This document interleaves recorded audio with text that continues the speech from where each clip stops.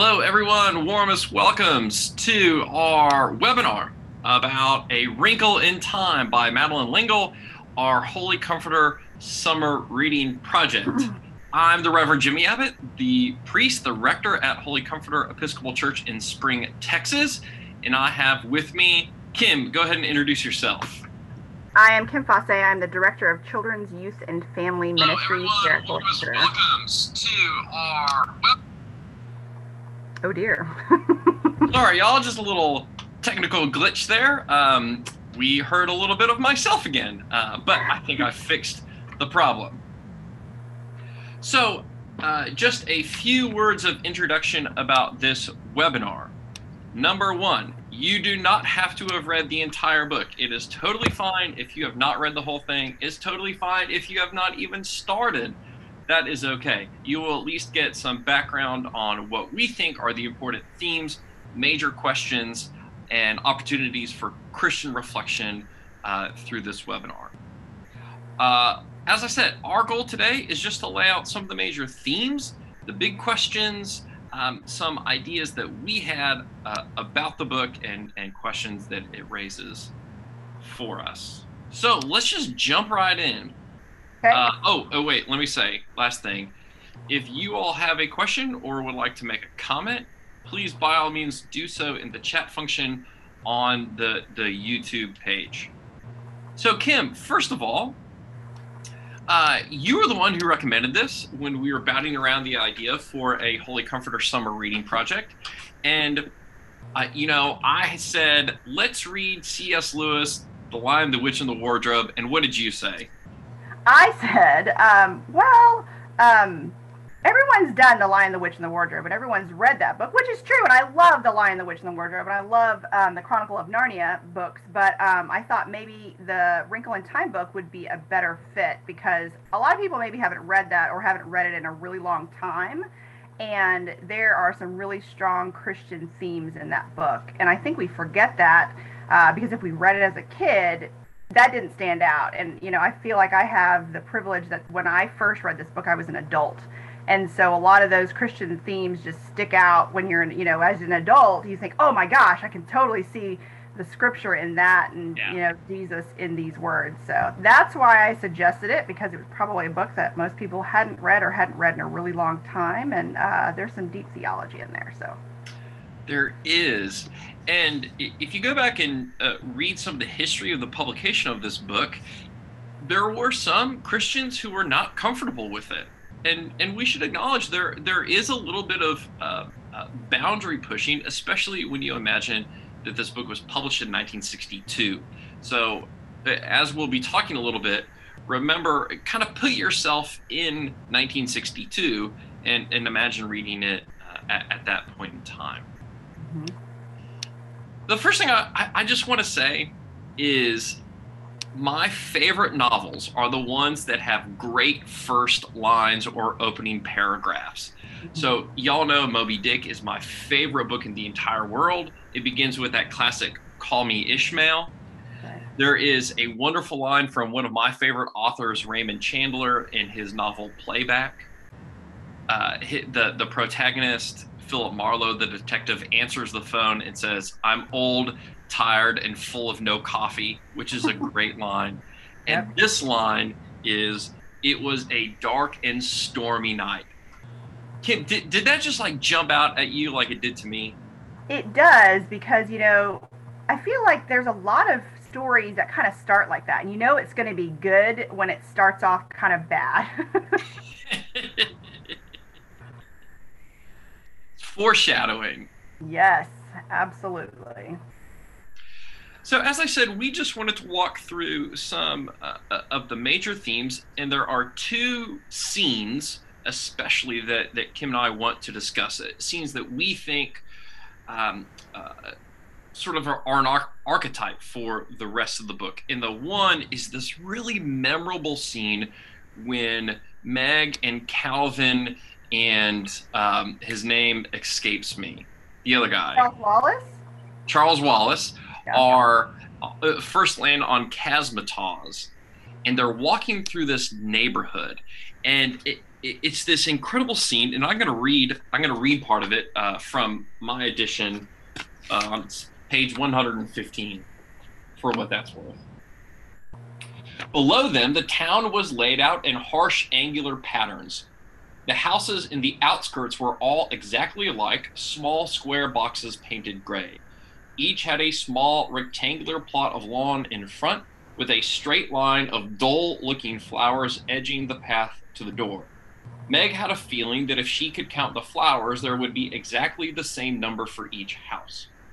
In front of all the houses, children were playing. Some were skipping rope, some were bouncing balls. Meg felt vaguely that something was wrong with their play. It seemed exactly like children playing around any housing development at home, and yet there was something different about it. She looked at Calvin and saw that he too was puzzled. Look, Charles Wallace said suddenly, they're skipping and bouncing in rhythm. Everyone's doing it at exactly the same moment.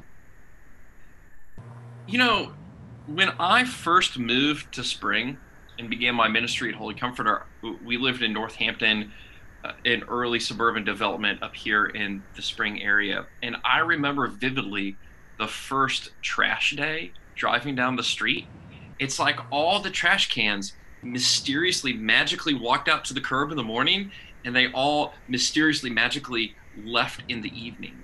And it does have this almost oppressive rhythm to it. And Kim, I, am wondering if you, you and your ministry, your life here, if you have seen a little bit of that that sameness.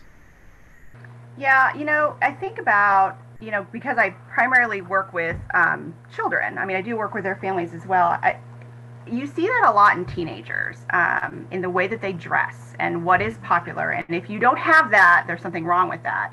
But you also see that in other churches' ministries as well, because as a youth minister, children's minister, you get to hear about other people's ministries and um, hearing things like, you know, children being in church, how they should sit a certain way and they should be quiet a certain way and you should do it a certain way. And if you don't do it a certain way, you're doing it wrong and um, that in itself i feel like just feels wrong because as children there's not a really a certain way there's not a certain way to play there's not a certain way to be a child it's just you just are so there's so many you know especially in young people there's so many different ways that they're called to conform if you don't look like this there's something wrong with you and the world tells them that over and over and over again. I mean, not just kids, but adults too. But you see it a lot in children, especially or in youth, in the way that they dress, in the things that they like, um, the music that they listen to. It's all very, very similar. Yeah, and we should say that in the church, part of our, our goal, our purpose, our, our binding material is the creed, right? That is something that we'd all say that we conform to. I think part of mm-hmm. church ministry, like you're saying, is figuring out how to be different within the creed. Um, right. To say, and I, you know, okay, so I'm going to talk about your son for a second. Oh dear. I remember one Sunday morning vividly when your son came to Acolyte with a green mohawk and Darth Vader shoes. and, you know, I actually thought this is a beautiful, wonderful, incredible sign of the church that yes, he's going to be an acolyte. He's going to carry that cross or that candle, whatever it was, and he's got Darth Vader shoes and a green mohawk, but he is still part of something something larger that binds us, not just the the clothes that we wear. That's right. That's you know, son, grew, yeah, it is, and it, it, it's a lot of it stems from you know my childhood. I grew up I grew up first Catholic, um, and then being an Episcopalian, always being told this is how you should look when you go to church, you know, and always being in, incredibly uncomfortable. And but you have to fit that mold because if you don't, there's something wrong. And I remember thinking someday when I have kids, I don't care what they wear to church. I want them to be comfortable, but I want them to love going to church. And so a lot of that stems from that desire for them to love church and not give a crap about what they're wearing. I also think um, uh, that that remember this was written in 1962 that there is a subtle critique of two cultures happening right now that that, that L'Engle is, is drawing out for us. One is the critique, obviously, of communism. Right. That, that you know, especially in 1962, you got to think Cuban Missile Crisis, mm-hmm. that there is this critique of uh, American perception of communism that mm-hmm. everything is ordered and just so. And right. y'all have seen that. If you've seen pictures of, say, the apartment blocks in Soviet Moscow, holy mm-hmm. cow, they look like what what she's describing. But there's right. also this critique of this budding American uh, suburbia that, mm-hmm. that it seems that y'all see this in our neighborhoods, right? Cookie cutter houses. It kind of looks exactly the same. Mm-hmm. All the little and, houses and all the little families. Yep. Uh huh. And that you know, um, just like not all the houses are the same, but they're awfully similar. They now, are. If anybody in the chat has any um, uh, thoughts and reflections on that, I see that we have both uh, kids here on the chat and some some um, older kids, if you will. And I'm just wondering if, in, in, in your experience, if you have seen any of this this um, desire for conformity, where uh, you know communism is not our experience; it's this this other kind of conformity. If you have ever felt that.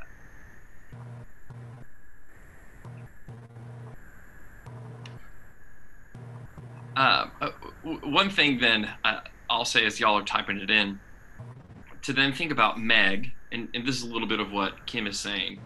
When Mrs. Whatsit says to, to, to Meg that her faults will be her salvation, which her faults are that she's out of conformity, right? With with almost well, this would be another theme with our perception of what a young girl should be. Right.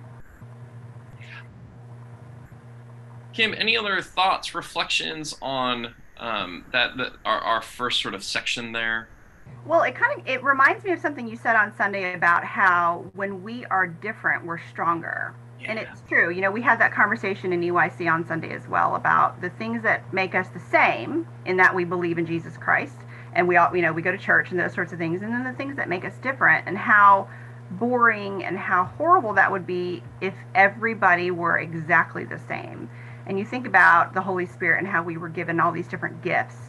If we were all given the same gift, we wouldn't get a whole lot done. But it's really kind of amazing that we as the church have so many different gifts to offer, and we use those gifts for the body of Christ, and we use those gifts to gifts to raise up our communities. And you know, it's amazing how God thought that through, even when we don't always think that. I, uh, so uh, that's a massive uh, subtweet there, Kim, of St. Paul. So y'all go home, read your St. Paul, go home, read First and Second Corinthians, and the, it, Paul's image of the body of Christ, and each having a different use and a different purpose and a different gift that we're all working together. But the eye is not the hand, right? That's right. Mm-hmm. Perfect. You can tell that L'Engle was a good Episcopalian. She knows her St. Paul. Okay.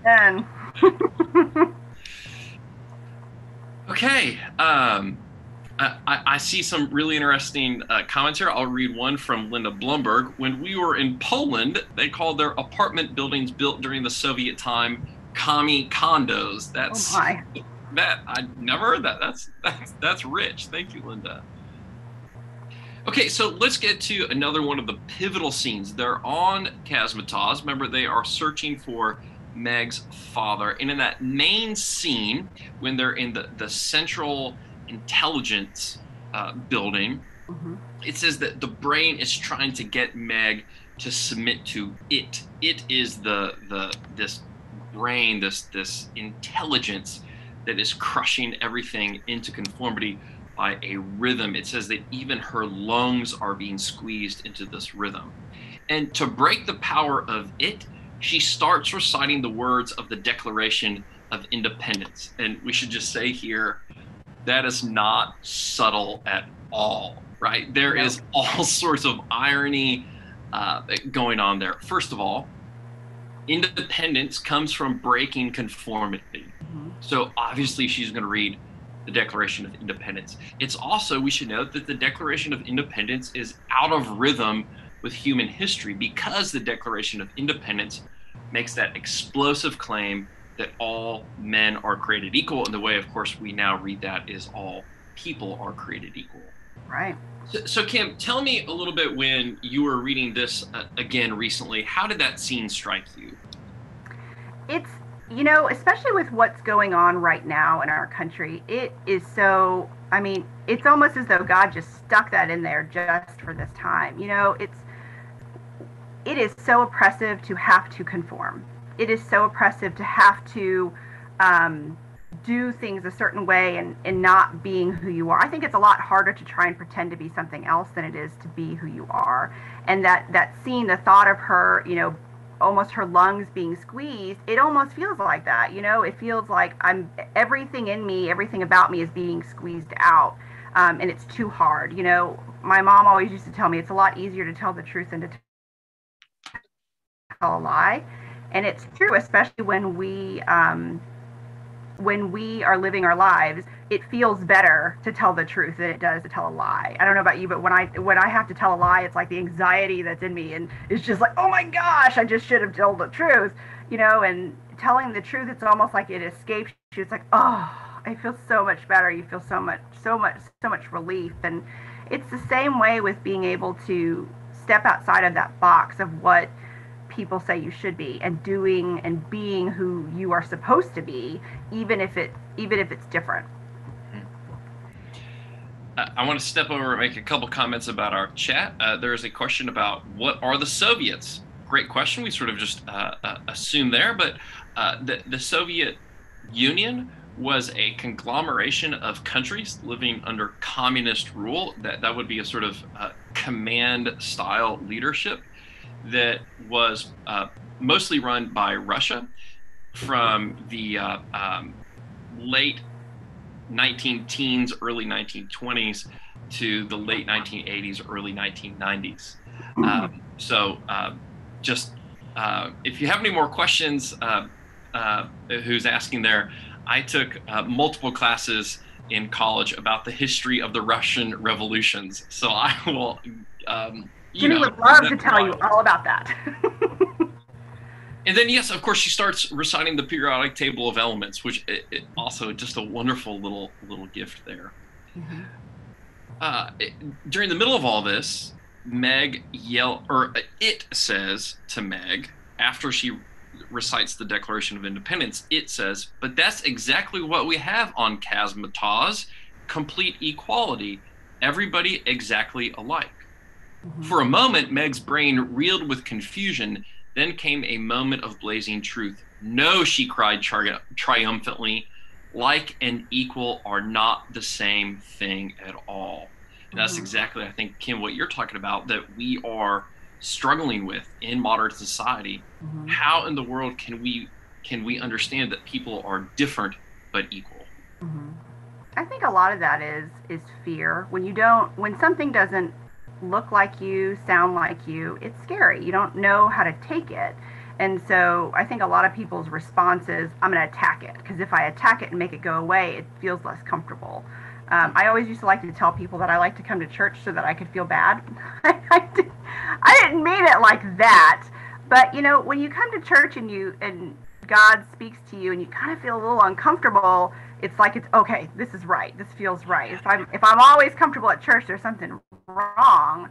Um, and that's the beautiful thing about church is that we shouldn't all look alike and we shouldn't all think alike. And that's one of the things I love about Holy Comforter is there are so many different types of people at Holy Comforter. You know, you have people on the far right and people on the far left, and you have children and adults and older people and babies, and everybody is just so different. And you know, I look at our youth group and and the different schools that they go to and the different economic statuses that they're all in, and it's just they it's a it's beautiful to watch them get along and love each other, and it doesn't really matter.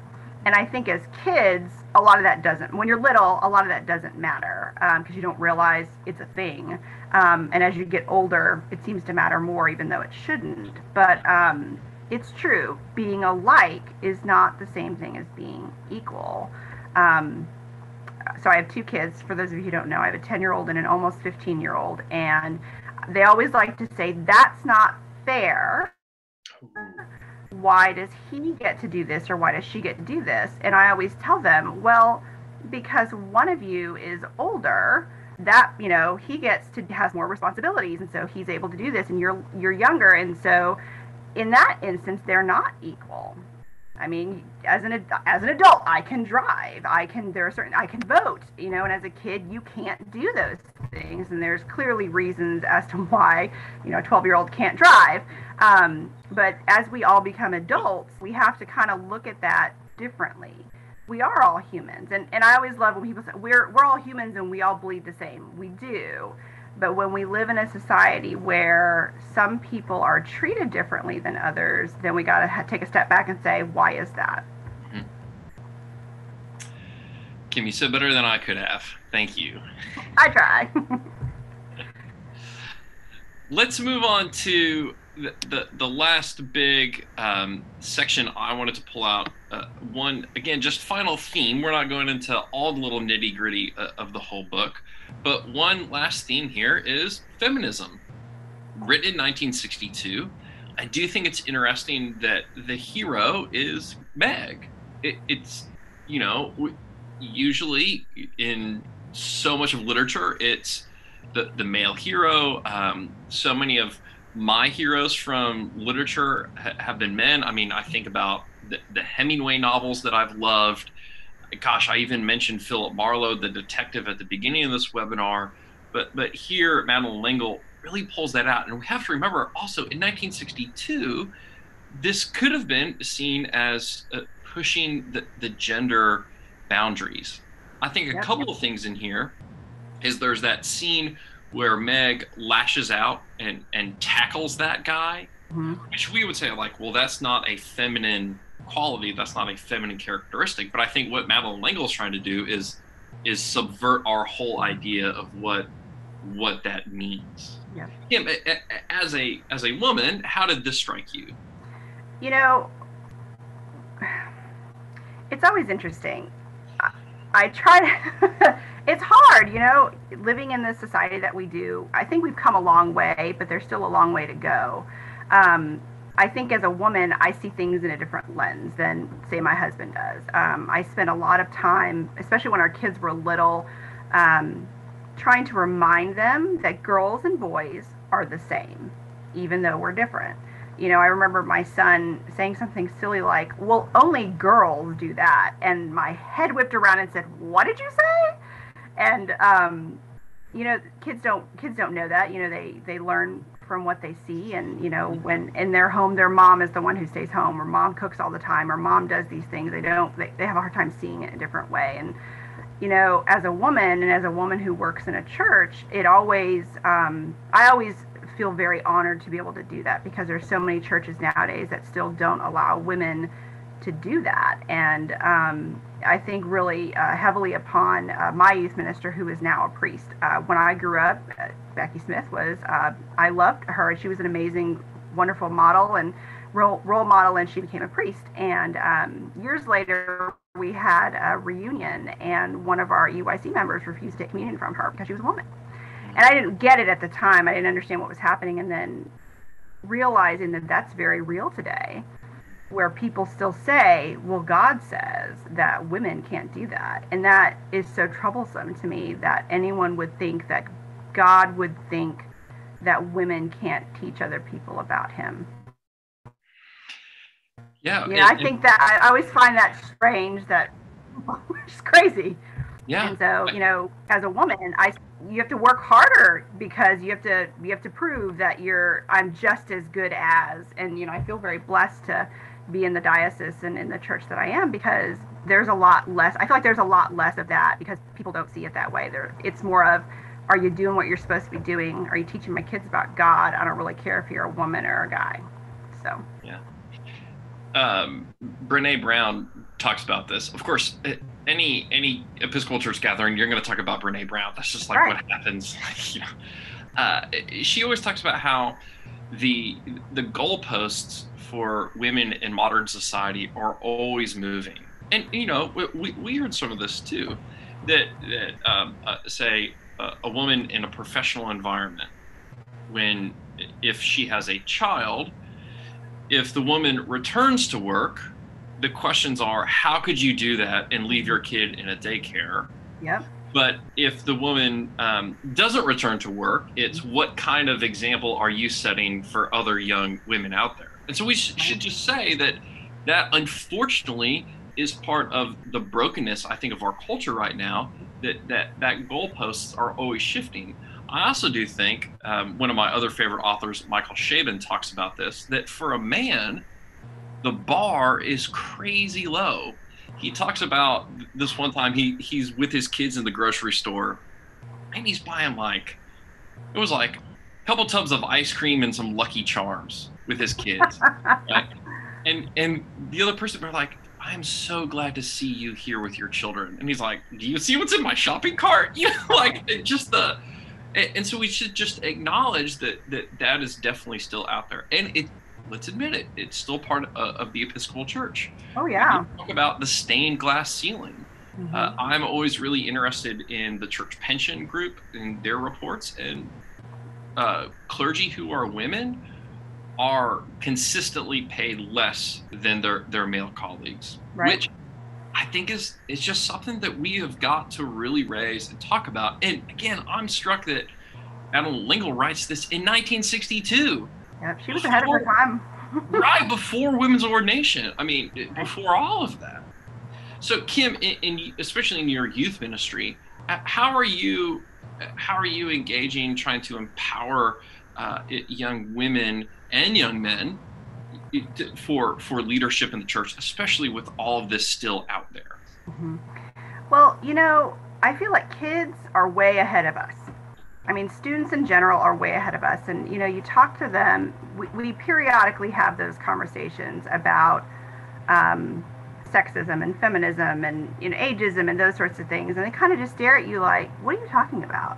Because they don't, they haven't experienced things the way we have because for them a woman in leadership is not a big deal. I mean how many female principals do you see? Mm-hmm. a lot of them you know how many female school teachers do you see? A lot of them. And so i feel like that that's a huge thing for them to be able to see women in leadership and um, to be able to see um, people of color in leadership. You know for them it's not abnormal at all. For us it is because that's not something we've always known and so always keeping up that conversation i think is really important. Never just assuming that they know or that they're learning it at home because not everyone's home environment is the same i think is really important to where when we model that leadership you know when they see that their youth minister is a woman um, is important. When they see um, people of color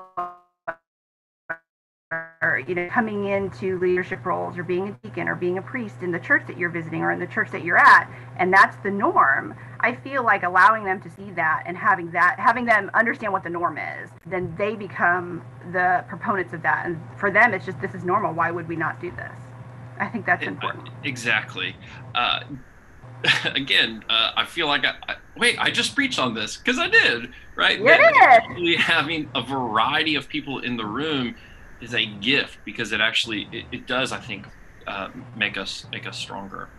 I'm seeing a lot of comments um, in the chat about um, uh, mom guilt, about issues around uh, feminism uh, and equality. Uh, again, this is a conversation that we really do need to keep up, and um, it, it's something that that I think we as the church have to to continually talk about. Mm-hmm. And you know, this goes right back to Mary Magdalene seeing the first person to see Jesus on Easter morning.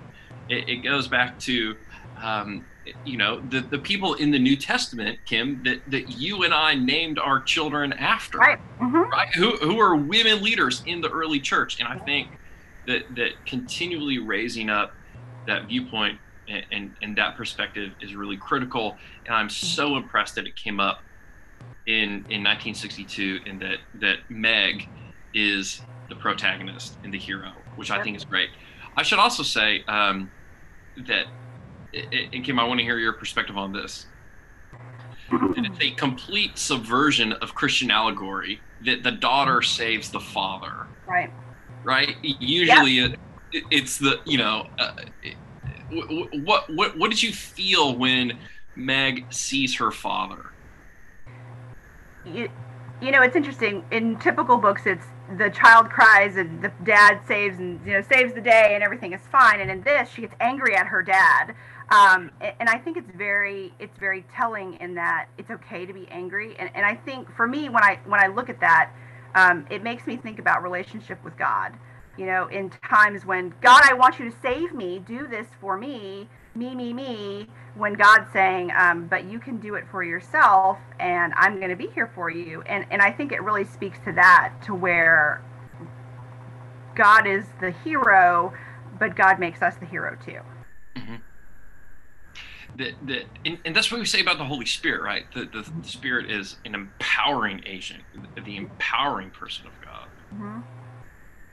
Uh, I'm just going to check um, that we have um, uh, some comments here. Uh, some comments. Um, this is a classic story. A young girl at St. Mary's, when they had two female priests, commented to her mom when they had a visiting male preacher, Mommy can men be priests too. amazing. amazing, right? It's, yep. it's, talking about subversion, right? That's right. Um, and then, of course, uh, the, the, the um, female characters throughout the Holy Scriptures. Um, and, and so I want to say there, there are lots of female characters uh, throughout the Holy Scriptures, really crucial, important, critical folks. Um, and, and so I, I, do want to, to continue to raise those up. And if you have any questions about who some of those characters were, Kim and I would be more than happy to, to share those with you. Yep. Kim, any parting thoughts as we conclude our time on this Lunch and Learn webinar?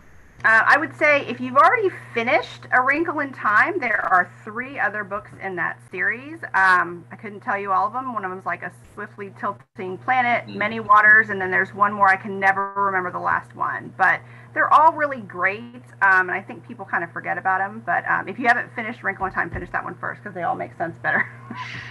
finish the first one.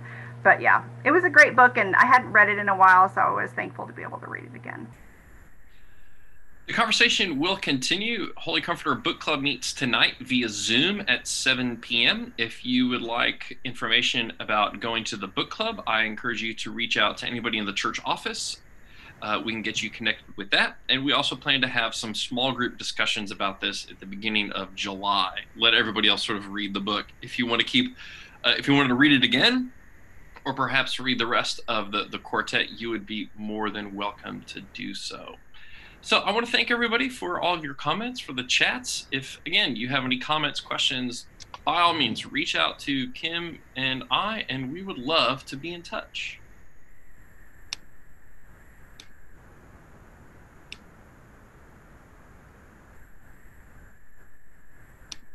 I thought that was